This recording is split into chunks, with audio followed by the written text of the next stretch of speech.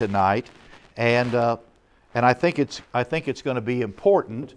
And all I'm going to do is um, this should shut off. Nope, wrong one. That should shut that off, and you can see that a little bit better. That's not too dark for any of you, is it? No. And uh, and so what I want to talk to you about, particularly in the light of what is happening in the news. And, uh, and again, I want to say, even as I ask the question, do you know what time it is? Does anybody really know what time it is? And the answer to that is yes, we do. And the scriptures are clear about those things that we are in the last days and they are Laodicean days where the churches really, you know, have lost their power and so forth. And it's interesting, I, I saw somebody else on, online. I, I, I recognized him and I just tried to listen in. They had videotaped it or whatever.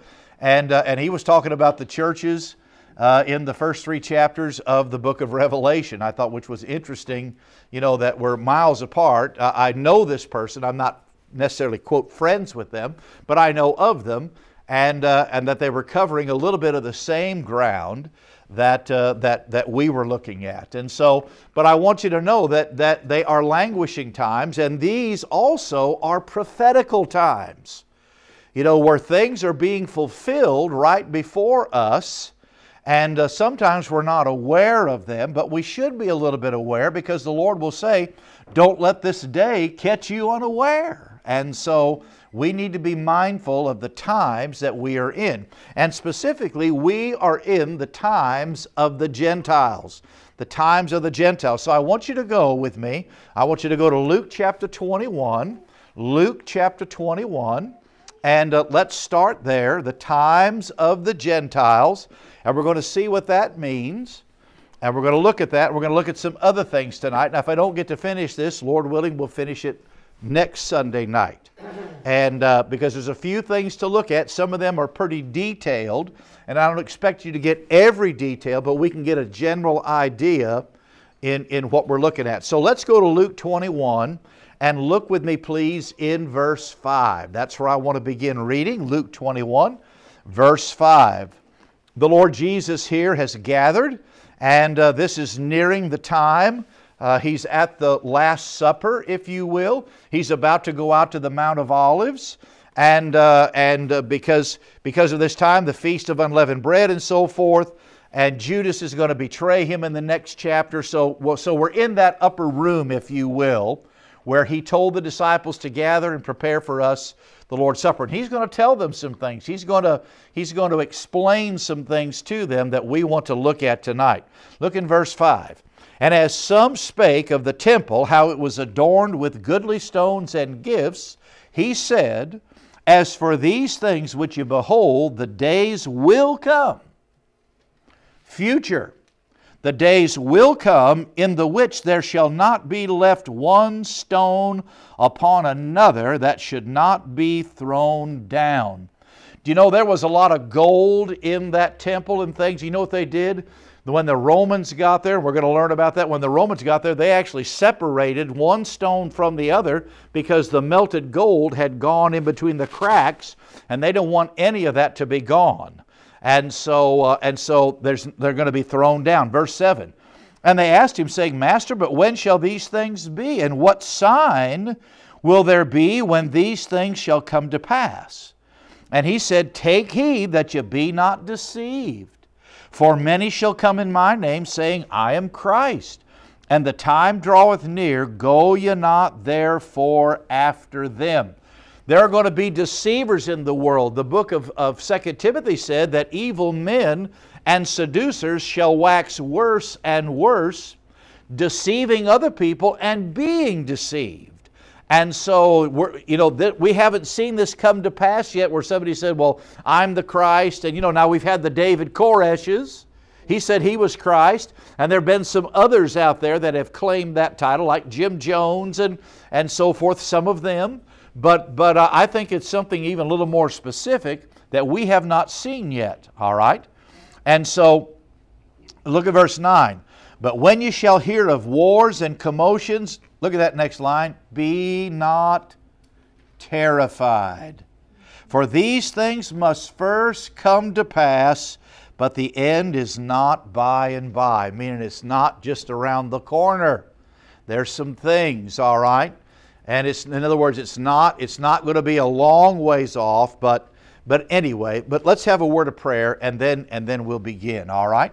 Heavenly Father, we thank you, Lord, for the words of our blessed Savior, wholesome words, dear God. And we just thank you, Lord, for the peace that He speaks to every heart. And Lord, thank you for preserving our Bibles for us, that we can have an insight, Lord, into that conversation and some things that we can take away from this tonight. And I pray the Holy Spirit might illuminate our hearts, Heavenly Father, and give us understanding, Lord. Uh, not that we become Bible scholars, but Lord, that the peace of God may rule in the hearts of your children. I love them tonight. And Lord, I thank you for them. I pray you'll touch them. Bless Brother Mel tonight, Lord. I pray against that fever, dear God, and that you'll heal his body. And uh, Lord, we just ask that your will be done now, Lord, in all these things. In Jesus' name, Amen and amen. All right. Now go down to verse 24. Verse same chapter, Luke 21, verse 24.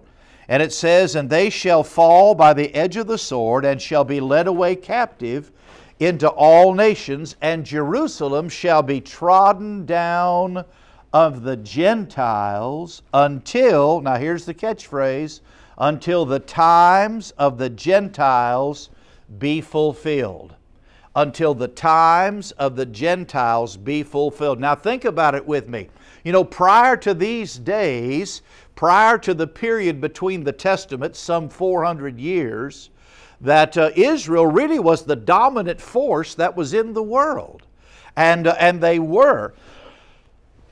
pardon me, they were the dominant force that was in the world. And when you read your Old Testament and you read about uh, people like the Assyrians, and you read about the Chaldeans, and you read about the Samaritans, and, and you read about the Hittites and the Egyptians.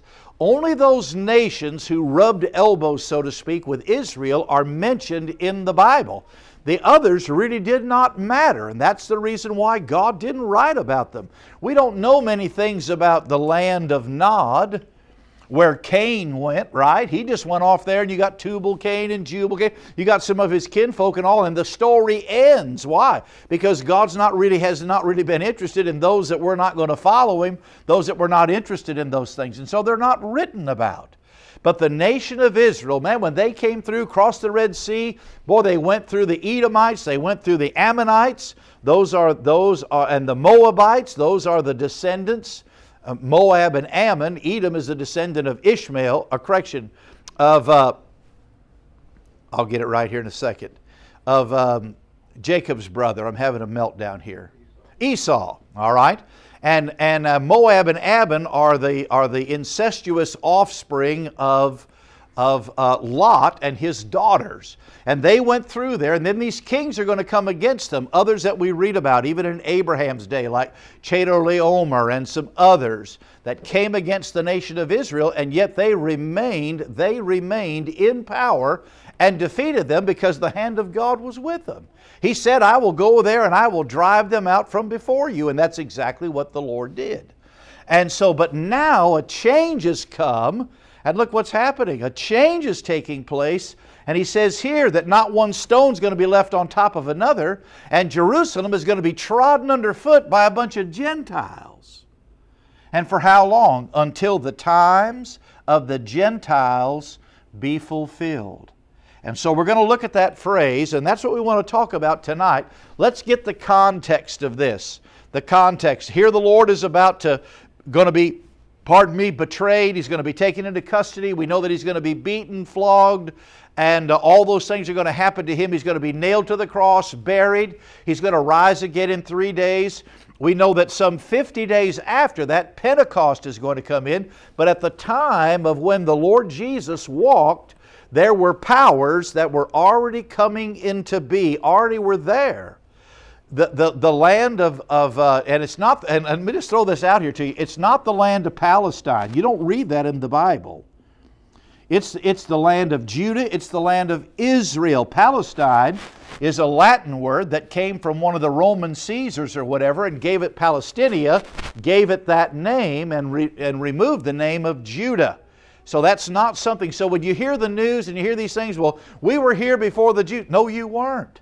And if you were here, you were moved out of the land because of your wickedness, according to the book of Leviticus. That's why he cast them out. And he warned the nation of Israel don't do like the people that I'm removing, because if you do, the land is going to spew you out just like it spewed those folks out because of their gross immorality. And, uh, and so, so the context here is the Lord is telling them this is what's going to happen. It's going to come to fruition, and it does happen in 70 AD, is when it occurs. In uh, a, and so, what is prophecy? Prophecy is history that is written in advance. Prophecy is going to be history that has been written in advance. And so here the Lord Jesus begins to detail the coming days of what's going to happen to Herod's temple. You see, the other one that was built was Solomon's temple, and Nebuchadnezzar them they destroyed that. They took all the they took all the um, all the instruments, all the all the cups and everything. Do you remember when? Have you ever heard the saying, "Boy, well the handwriting's on the wall"? You ever heard that before? Do you know where that comes from?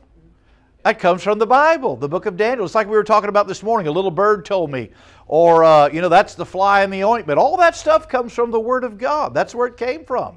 And so the handwriting on the wall happened to, uh, to Belshazzar, and uh, because they desecrated some things, and so the, the uh, Chaldeans were going to come, and they do come, and they remove all those things, and they are sent into exile in about 587 B, uh, BC all right, before Christ, 587 BC. The other one went into captivity through the Assyrians in 720 BC. You know that time runs backwards, right, as you're coming down to zero. 720 BC, and then 587 is when, is when the other ones did it. Y'all getting too cold? All right? So, so but what's going to happen here, Herod's temple has been built when they came back in the land and so forth, there under, under Ezra and Nehemiah, they laid the foundation again and so forth. Some things were, were repaired, but now you've got Herod's temple, and Herod's temple is going to be overrun because, overrun because Jerusalem is going to be sacked. That's kind of a British term, which means that they overthrew it. I mean, they, they, they destroyed it. They destroyed it.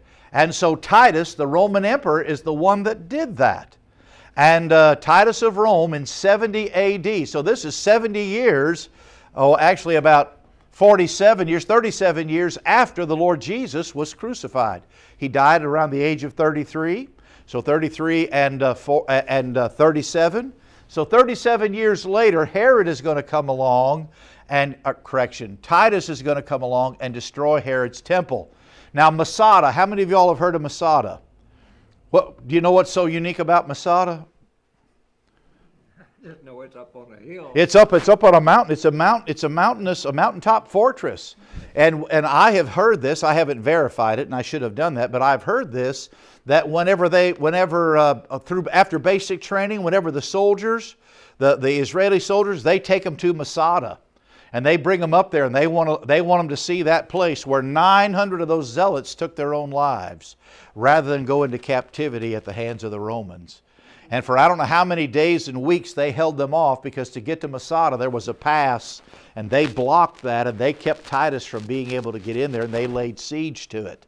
And so, but Masada is where they take these graduates of basic training to sort of put in them that spirit of Zionism that, man, we're going to defend our land. And you see how they have responded. People are already, people, Jewish people that are in other countries are already going back home so they can put a uniform on. You know, one of the guys that got away kissed his wife goodbye and said, I'm going back in the army, and that's what he did. And women also and, uh, and they're doing these things. And so, so that, that idea of nationalism and, and supporting their country and supporting one another, it's a, str- it's a strong bond that they have. And so, so here is the context. And so the Lord Jesus' words were both historical as well as prophetical. Now let's clarify something. The church is not involved in this because the church has been hidden in the mind of God according to Ephesians chapter 3. So let's go there Turn right in your Bible. Go to the book of Ephesians with me, please. 1st and 2nd Corinthians, Galatians, and then Ephesians. And then look in chapter 3 with me. Ephesians chapter 3. And this is part of the reason why Paul got in such trouble was because he was introducing something that was new. And what was new, it was, it was the introduction that Jews and Gentiles could be in the same body together. And that man just pitched a fit because we're unclean according to them. That's what, that's what Gentiles are. That's what it means, unclean. And if you're not Jewish, then you're a Gentile. I don't care if you're from Mexico or if you're from, if you're from the Philippines or you're from Backrack, Syrobia. If you're not Jewish, you're a Gentile. Okay? All right?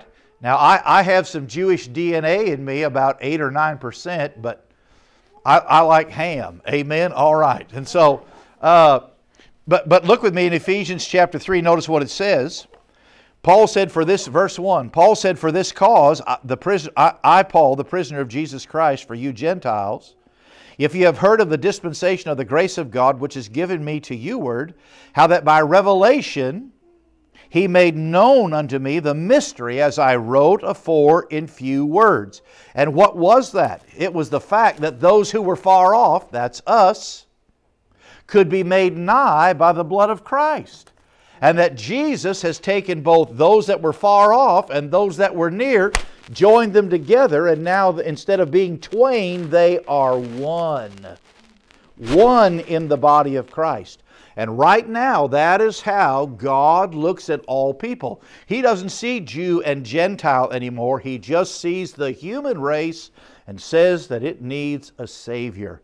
That's why the Bible says that God was not willing that any should perish, but that all should come to repentance, both Jew and Gentile alike. That's how he sees them right now. So the church is hidden in the mind of God. Look in chapter 3 there. Let's keep reading just, just for a little bit. Notice what he says in verse 4 Whereby, when you read, you may understand my knowledge in the mystery of Christ which in other ages was not made known unto the sons of men as it is now revealed unto his holy apostles and prophets by the Spirit. Now watch, that the Gentiles should be fellow heirs and of the same body, and partakers of his promise in Christ by the gospel. That was something new. The idea of a Redeemer, the idea of a Messiah, that is not new. That's what we read in the book of Romans, which he said, you know, uh, that, that, that was prophesied or by the prophets. They knew there was going to be a Messiah that was coming. They just didn't know that Messiah was going to bring both Jew and Gentile together. And that's what got Paul in trouble. That's why he was arrested in part for preaching that, all right? So the church was something that was hidden in the mind of God. So let's clarify something these two phrases. One is the times of the Gentiles, and the other is the fullness of the Gentiles. Those are two different things. You're in Ephesians, go back left and look in Romans with me. Romans chapter 11. Romans chapter 11. The, the times of the Gentiles are different from the fullness of the Gentiles.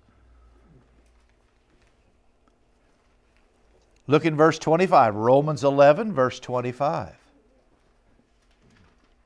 We got time for you to turn there, okay? Notice what it says. He said, For I would not, brethren, that you should be ignorant of this mystery, lest you should be wise in your own conceits. Now, watch that blindness in part is happened to Israel until the fullness of the Gentiles be come in. What is the fullness of the Gentiles? Well, I'm glad you asked, all right? The fullness of the Gentiles refers to those Gentiles who God is going to save and make, help to make up part of the body of Christ. When that body is complete, that will be the, the fullness of the Gentiles. When those that are going to get saved in this dispensation are going to be come in and be made a part of the body of Christ. They are going to be a part of the bride of Christ. And there are going to be Jews in there also. They're called Messianic Jews. Have you ever heard that term before? Jews who have been born again and who realize that Jesus Christ is Yeshua HaMashiach. Yeshua means Jehovah Savior. Yeshua HaMashiach, that is Jesus Christ the Messiah. And they recognize that. And man, they know He is their Lord and Savior. And they have trusted Him. And so the fullness of the Gentiles refers to the making up of that body that He is putting together. When a person gets saved by the grace of God, the Holy Spirit baptizes you, immerses you into the body of Christ. You become a part of the body of Christ the moment that you get saved. And so too for Jews in this day, those Messianic Jews, when they get born again, they are immersed by the Spirit of God into the body of Christ. It happens instantaneously, and, uh, and they become a part of that body. The times of the Gentiles in Luke that we read about the times of the Gentiles represent something different. It refers to those Gentile world powers who will rule till the Lord Jesus returns. So the times of the Gentiles when they're in power, the fullness of the Gentiles, all those that are going to get saved and make up the body of Christ. That is the difference. So when you're reading that, don't confuse those two things because they're not the same, all right? And so the fullness of the Gentiles, that began at Pentecost. Y'all with me? That's when the church was birthed, Pentecost. It's when it was organized, an organism, all right? The Holy Spirit came, 3,000 people were added on the, after that first message. Wow. Um, I wonder where they went to church, brother. You know, I mean, well, you know, uh, you know, I mean, it's great. We got we have a building and we got places and all, but we couldn't handle three thousand here all at once, man. All y'all would have to be Sunday school teachers, all right? And uh, uh well, what, what kind of we'd have to have this for the nursery, I suppose. Uh, you know, the whole thing for nursery, three thousand people coming in, all right? And so and so, the fullness of the Gentiles it begins at Pentecost and it's going to end at least seven years before the times of the Gentiles ends. And we're going to talk about that. At least seven years before the end. All right? Y'all with me? You, are nodding your head. You're with me. All right, good. So now let's, let's talk about this. A picture's worth a thousand words, all right? Let's look at this. Look at that up there. Peaks of prophecy. Now, here, this is an Old Testament this is an Old Testament prophet, and what did he see? In other words, the idea of a redeemer is not something new. What Paul introduced in the book of Romans about, about, about someone who was going to be delivered for our offenses is not new. I mean, notice what this says. Notice what does that say right there? Isaiah 53, 1 through 12. Isaiah is a Jew's favorite prophet. And there it talks about the servant of the Lord if you will, that he's going he's going to bear all these things. He was bruised for our our offenses. He was you know he was uh, buffeted and so forth. He bore our sins, and uh, there was no beauty in him that we should desire him. All those things are going to happen to him. You know, all we like sheep have gone astray, and the Lord hath laid on him the iniquity of us all. And that's what happened. And that was not anything new. What Paul was preaching and teaching wasn't some new doctrine, a strange doctrine. They knew all that. And so, but those prophets, as they looked, they could see that there was going to be a Redeemer. Someone was going to pay the price. They also could see ahead to the Antichrist. When we get to the book of Daniel, that's what they could see. Daniel's going to write about that. He knows that. Gabriel brings him all those things, and God reveals to him some things. But notice this down here. Remember, I said the church was hidden? It's down in the valley between these two things, and those prophets of old couldn't see it. Daniel didn't know anything about the church. Moses didn't know anything about the church. Samuel, the first prophet, didn't know anything about the church. None of them did because it was hidden in the mind of God, and it was Paul, the Apostle Paul, who was going to bring that revelation to light. You know, do you know what the word church, you know what the word for church is? When, when you go past a, when you go past a, uh, a Spanish church, uh, it might say uh, Iglesia Baptista Libertad. Mm-hmm. So what is that? What, what in English? Well, Iglesia. What is that? That's a church. Okay? That's where you get the word ecclesia. That's a called out assembly. That's what a church is. They didn't have that in the Old Testament. There was no church in the Old Testament. They just moved 2 million plus people through the wilderness, but it wasn't a church. The believers in there hadn't been baptized into the body of Christ. The Holy Spirit in the Old Testament could come and go. He would come on Samson for service. He would give him strength. And after that, he would, he'd be gone. Remember, he wist not that the Spirit was taken from him. The Spirit was gone. He didn't know it did not know it. So, so here what we have in these peaks of prophecy, we've got these Old Testament. This is what they saw. They saw that there was going to be a, a Redeemer. They knew, according to Isaiah, didn't he say, Unto us a child is born and unto us a son is given? His name shall be Counselor, Wonderful, Mighty God, the Prince of Peace, the Ancient. I mean, they had all the names, they had all the titles. They just didn't believe it was Jesus. They didn't recognize his birth. They didn't recognize, you know, and I think, which is a funny thing, they didn't even recognize that he was probably the only guy running around there that was about 33 years old. Because all the other ones had been killed, remember? What did they do? They went through and killed all the boys, uh, two years old and younger.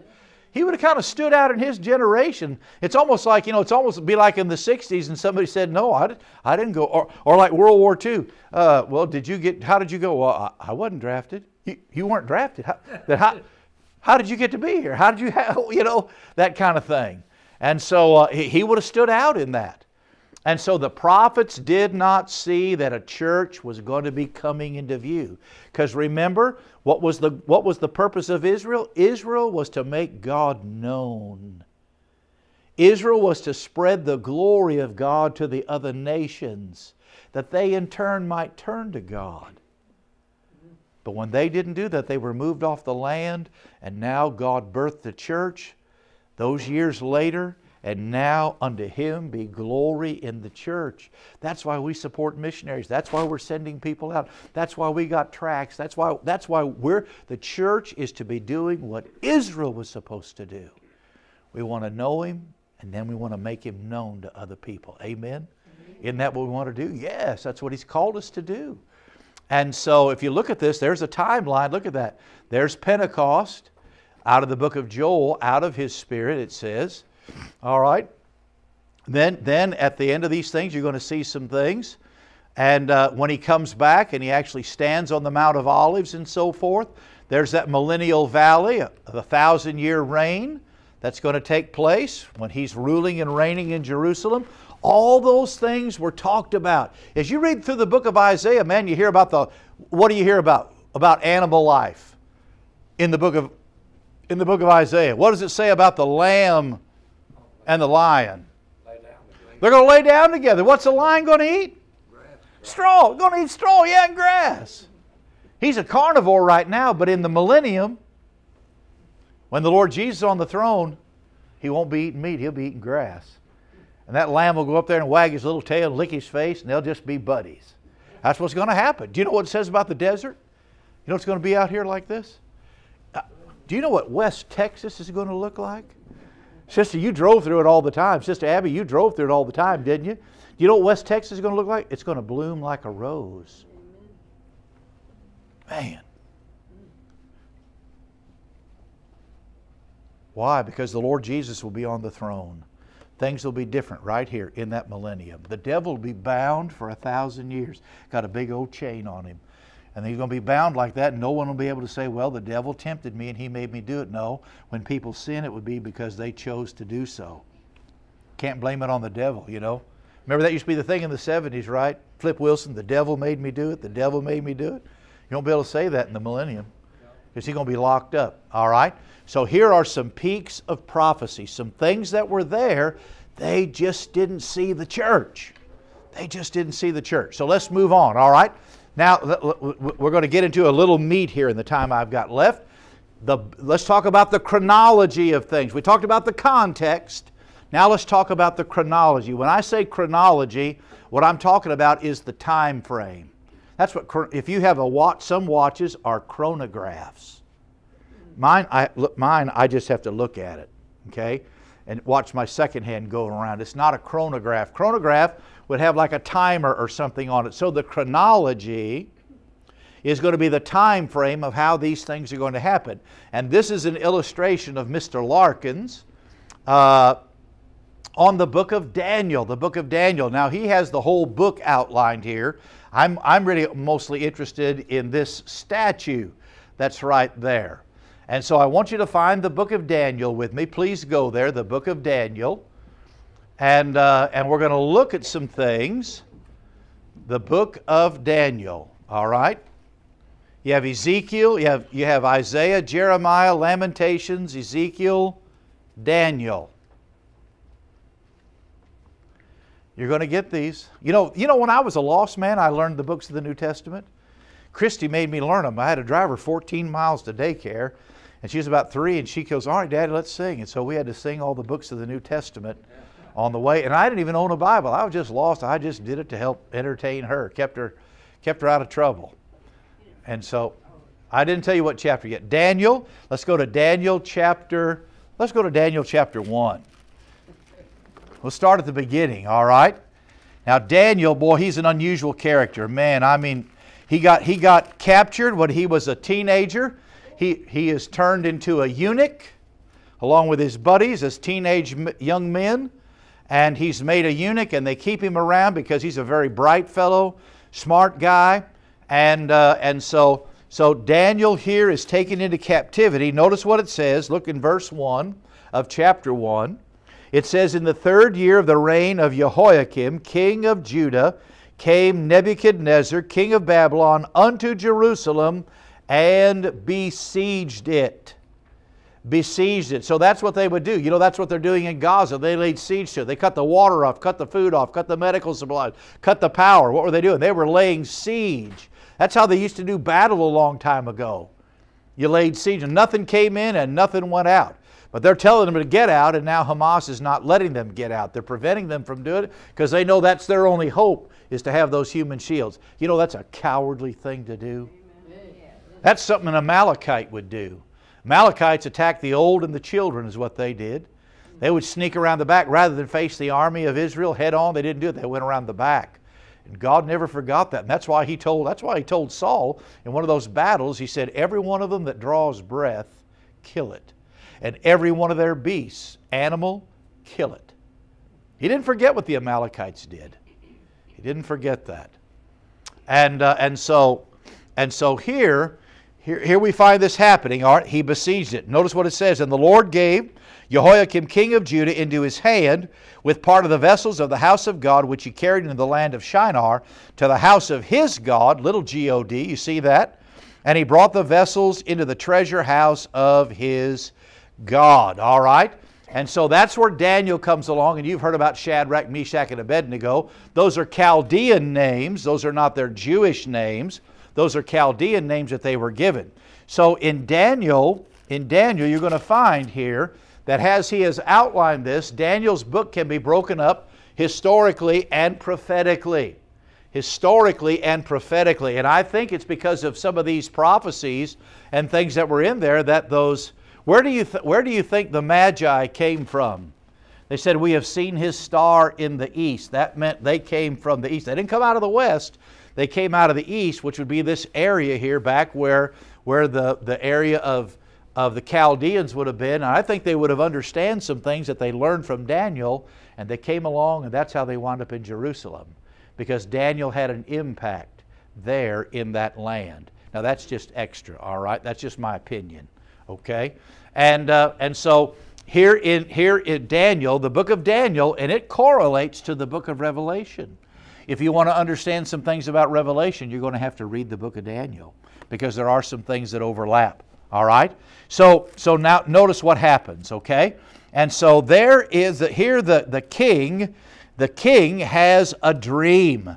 And, uh, and so uh, the king wants to know what's happening, and so but nobody can tell him what's happening and so forth. And, uh, and so he's had this dream and he gets his guys and the king's interpreters, they can't interpret the dream. And so they say, well, man, let's ask Daniel. All right. And look in verse, uh, look in chapter 2, look in verse 19. It says, Then was the secret revealed unto Daniel in a night vision. Then Daniel blessed the God of heaven. Uh, and, uh, and Daniel answered and said, Blessed be the name of God forever and ever, for, for wisdom and might are his. And he changeth the times and the seasons. Now watch. He removeth kings and setteth up kings. He giveth wisdom unto the wise and knowledge to them that know understanding. He revealeth the deep and secret things. He knoweth what is in the darkness, and the light dwelleth with him. I thank thee and praise thee, O God of my fathers, who has given me wisdom and might, and has made known unto me now what we desired of thee, for thou hast now made known unto us the king's matter. Because their lives are on the line. If you couldn't interpret these things, you're going to be in trouble. And Daniel, God gave him the answer. And Daniel tells him about this. And what's he going to show him? He's going to tell him about this giant statue. This is what, this is what Nebuchadnezzar dreamed about. And he said, I dreamed about this, and there's a statue there. I dreamed about this man, and man, his head was gold, and his body here, this was silver, his arms and chest, his, uh, his, around his waist and his thighs, this was made of brass, his legs were made of iron, and his feet were a mixture of clay and iron. And then there was a big stone that came along and knocked the statue over. And he wanted to know what that was. And so the Lord gives Daniel, the Lord gives Daniel the answer, if you will, to the riddle, to the vision. And that head right there, it, this represents, that represented Nebuchadnezzar, the king. It was made of gold, and it's also represented by animals. It was a lion with wings. You know, the lion is what? It's the king of the jungle, right? He, he's the beast with the mostest, okay? And, uh, and, and according to the book of Proverbs, you know, no one stands in his way, man. They, I mean, I've watched them online. So, man, they'll attack an elephant. They'll attack a, a, a, a uh, Cape buffalo. They're not afraid, man. They'll just get on them, chew on them and everything. Do all that. Some of them get beat up. They do, but they're not afraid. And so that was, that was Nebuchadnezzar, and he was the head of that. And then the next one in line is going to be the Medes and Persians. They hadn't even come on the scene yet. Nobody knew what a Mede was and nobody knew what a Persian was. But Nebuchadnezzar has this dream, and Daniel tells him what the dream means. And he says, There's another empire coming. When yours is over, Nebuchadnezzar, there's another empire coming, and it's going to be the Medes and the Persians. The Medes and the Persians, if you want to know about that time frame, that's the book of Esther the Medes and the Persians, King Ahasuerus. He's also known by another name, Artaxerxes. Maybe you've heard the name Xerxes before. And, uh, and the Medes and Persians, and he is represented by a bear, and he is silver. And he's got two arms, the arms of the Medes and the arms of the Persians, all right? And how is a bear when they're marauding, man, they're slow, oh, they're strong, you know? When they're running, they can run about 40 miles an hour, but they are so strong. And the Medes and Persians, man, they whooped up on everybody. It was the Persian Empire that did in the Spartans in Thermopylae. Do you remember that? The 300 Spartans? There's a story about that. They, when they came against Greece, no one would stand with them, but they stood against them and defeated and held off the army of Artaxerxes for a long time till they were betrayed. They showed them a back way in and they were defeated. All right? But the Medes and Persians are going to come along. And there are dates with these things when this happened. And. Uh, and so as we're moving, again, we're moving forward in time towards zero, and these are the Gentile powers that are going to be in power that the Lord Jesus said until the fullness, uh, uh, correction, until the times of the Gentiles be fulfilled. Because Israel is not a world dominance during this time, they're, they're, in, they're in captivity.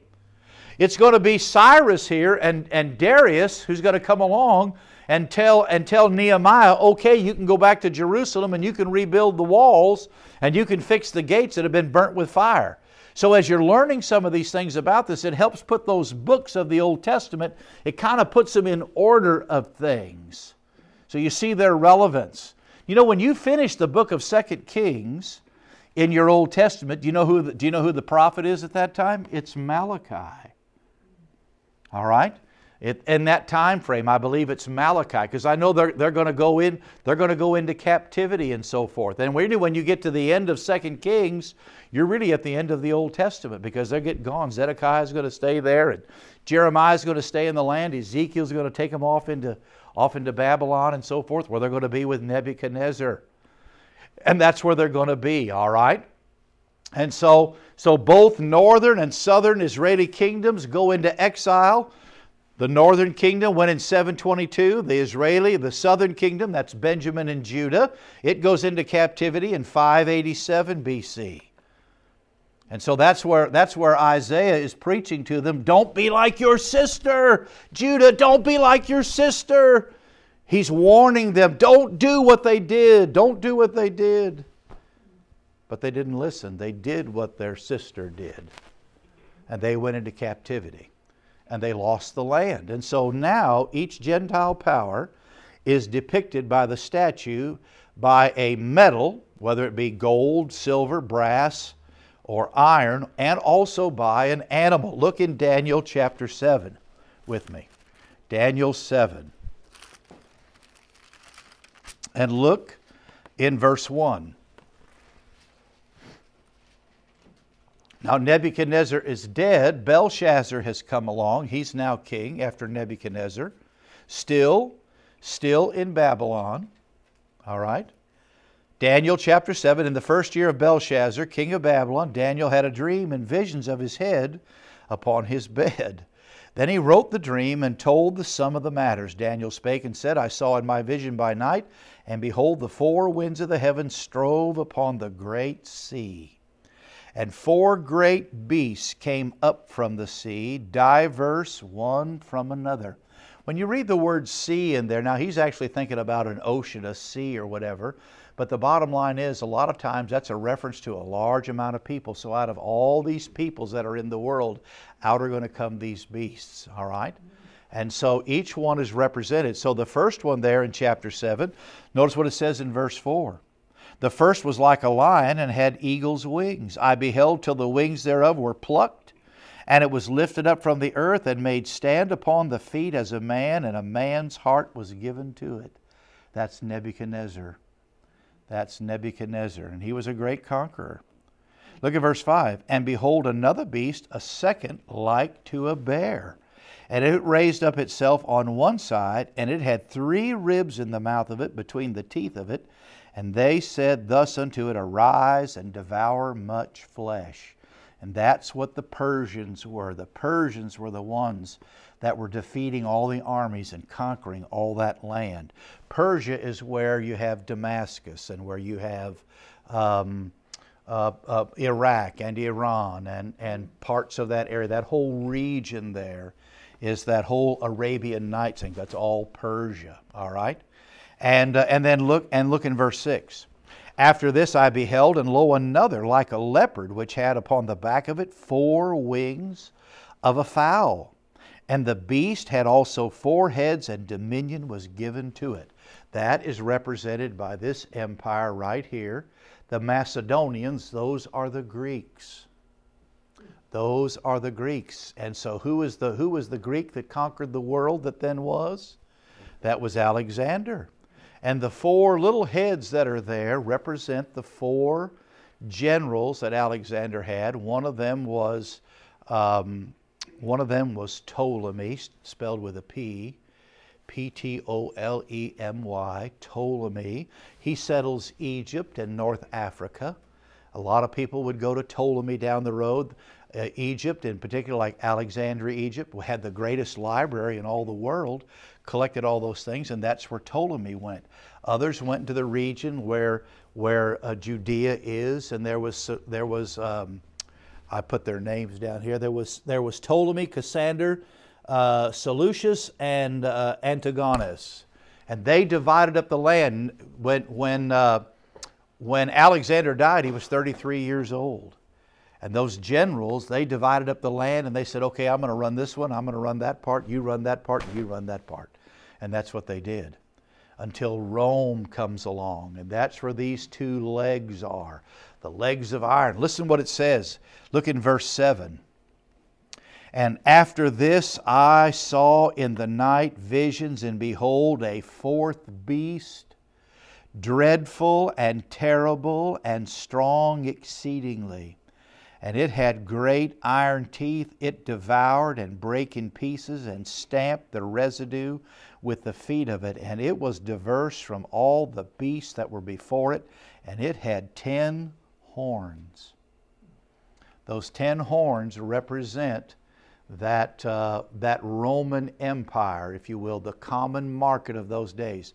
And the Empire of Rome went all the way into Great Britain and went all the way over and conquered all those things where, you know, where you had all the, the Middle Eastern places. Hey, this is where you have Cleopatra.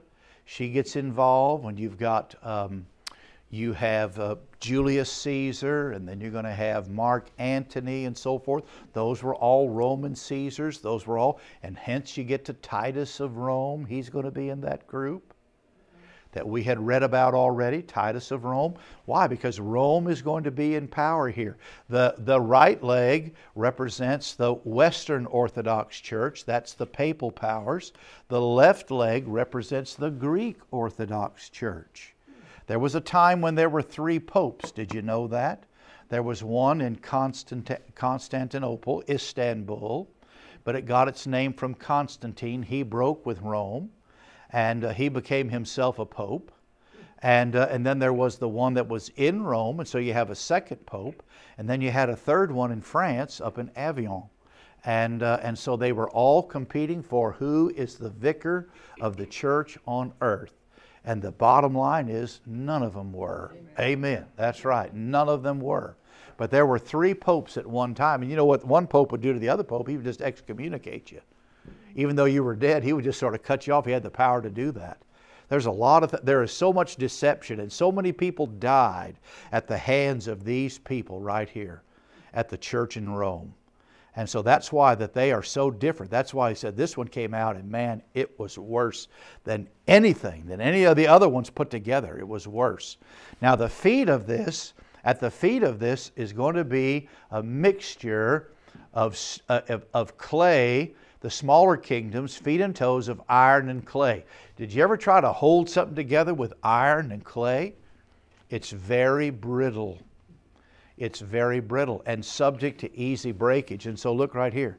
Here is the kingdom of God.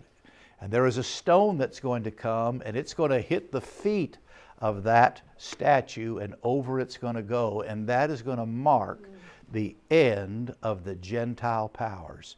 And that stone that comes back, that's the Lord Jesus Christ. And there's a time frame for all those things. So I, I don't want you to lose heart, church, by the fact of what you see. And, uh, and, and so we're just going to have to wait on this, all right? Daniel's 70th week of prophecy. How many of you know something about Daniel's 70th week? All right?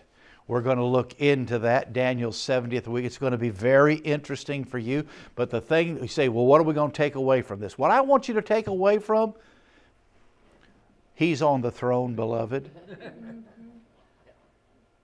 Remember what we said in our Sunday school class that our Bible is accurate historically as well as prophetically. And here are just some more details about what's going to happen and what has been foretold is going to happen, and it's coming to pass even as we are drawing breath tonight. And so, you know, as you watch these things, some things that you ought to keep in mind. Boy, always keep your eye on Israel, what they do and how they do. Keep your eye also on the temple of David. The temple of David. How many of y'all know what the Dome of the Rock is? The Dome of the Rock. That is where I, I any, anybody here been to the Holy Land? Oh man, good on you, brother. You've been. Uh, and you went too? Man, that's great. That's great. Um, yeah, and uh, and so, but the Dome of the Rock, that is where Abraham is buried, and and you have you have like almost like three groups, religious groups that all want to claim it: Christian, Jew, and Muslim, because you got to remember Ishmael Ishmael's daddy was Abraham. That's what happens when you introduce an Egyptian solution into a spiritual problem. Amen. And, and, that's what, and that's what you have fighting right now over there. You have Ishmael fighting against Isaac. And, uh, and so, uh, but in that Dome of the Rock, that is where, the, where David's temple is to be built. And there's other things like the ashes of a red heifer and all that. They found the formula for that. That's how they would, that is how they would dedicate all the instruments and so forth. They had to have the ashes of a red heifer, which was done a certain way, and then they could do that. Jeremiah wrote about that, hid those things away, and they were found. archaeologists found that.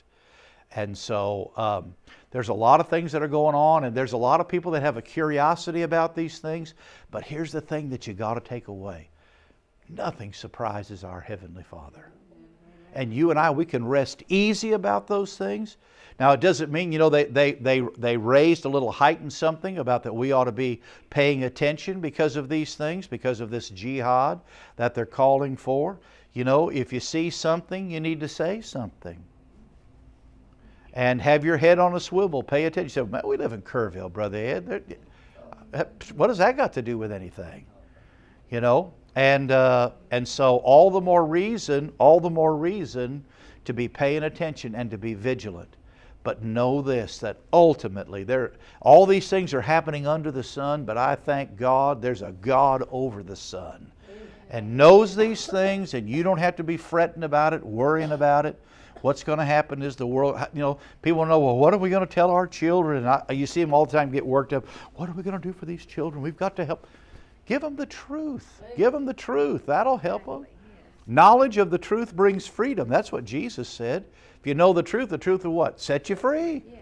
And, uh, and so that you don't have to be fretting and you don't have to be worried about it because all these things, when I think about the world and the Lord, I just think about a giant chessboard. Anybody in here play chess besides me? And so what? And so you know, a chessboard, boy, it's one move, counter move, is it not? And you got to keep the whole board in view. And that's exactly what the Lord's doing. So these countries and nations and peoples and leaders are just all like pawns and pieces on a chessboard that He moves them when it suits Him. But He's already got the game won. Amen? Because He's so many steps ahead of everybody else. And the devil hadn't got it figured out. He hadn't had it figured out in a long time. I'm just saying, I don't want you, as you see these things, I don't want you to say, oh, well, you know, well, oh, Pastor, what's going on? I want you to know what's going on, but you don't have to fret about it. You don't have to fret about it. It's here in our Bible. So let me challenge you go through the book of Daniel, read the book of Daniel. It's not that many chapters. Read the book of Daniel. It's interesting. You'll see him come through the lion's den and the Hebrew boys that don't even smell like smoke. Amen. Yeah. You'll read about them and all those things. But it'll be a blessing to you. But we'll talk about, Lord willing, we'll talk about Daniel's 70th week of prophecy. This hasn't happened yet. It's a future event, but it's the, just about the next event on God's timeline. All right? Any questions? Good. All right. Then we'll go. Write them down, save them for next week, okay? All right, let's pray. Father, I sure do thank you for the Bible. And Lord, I don't claim to know all the answers to all the things. But Lord, I do thank you for what you have made plain for us to understand. And Lord, I thank you for the Holy Spirit and His light and illumination that we can enjoy and the peace of God. Lord, you put these things in here. You said the things that were written aforetime were for our learning, and that through patience and comfort of the Scriptures we might have hope. Lord, thank you for letting us in on that, just like how you let Abraham in because he was your friend. And that's what you said of the disciples. He said, I call you friends, for you reveal things to your friends. Thank you, Lord, for how you love us, how you provided for us, how you protect us. We love you and we thank you tonight. And we ask all these things in Jesus' name. Amen. Amen. Amen. It's a lot to absorb, I know that, but but that's why we have time. Yes, ma'am. I was going to ask, um, would there be a way next time to have a Oh, yeah, yeah, yeah. It's, it's